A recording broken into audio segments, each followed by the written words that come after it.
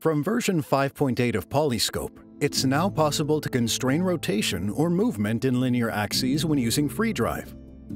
In the Move screen, tap the FreeDrive button to open the panel. Here you have a number of different options to choose from. Translation constrains rotation but allows movement in the linear axes. In the drop-down menu, you can select the feature you want to apply the settings to. I'll select the Tool feature. Rotation is now constrained, but you can move the robot in all the linear axes of the Tool feature.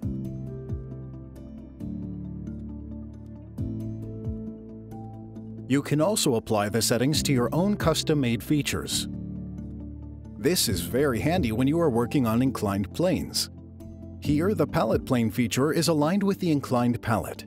The robot can be moved in all the linear axes of the pallet plane, but rotation is constrained, ensuring that the end of arm tool is always perpendicular to the pallet plane.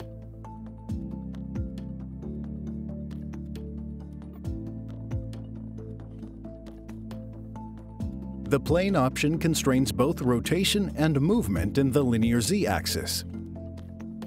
This is very suitable for tasks such as gluing or welding when you need to maintain the same orientation and distance to a workpiece.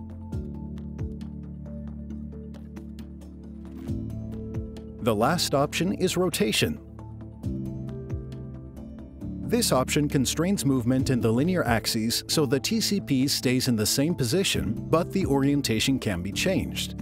This is useful for quality inspection or welding tasks. For all the options, you can customize them to suit your specific needs by restricting or allowing movement in the linear axes or rotation around the axes.